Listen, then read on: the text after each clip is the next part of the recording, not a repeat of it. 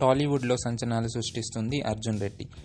నాలుగు కోట్ల రూపాయలతో రూపుదిద్దుకున్న ఈ చిత్రం దానికి పదింతల లాభాన్ని తెచ్చుకునే దిశగా అడుగులు వేస్తుంది. అర్జున్ రెడ్డి పాత్రను తెరపై ఆవిష్కరించిన విధానం సంభాషణలు యువతరాన్ని ఊపేస్తున్నాయి. ఈ చిత్రం తమిళంలో రిమేక్ చేయడానికి ప్రస్తుతం సన్నాహాలు జరుగుతున్నాయి.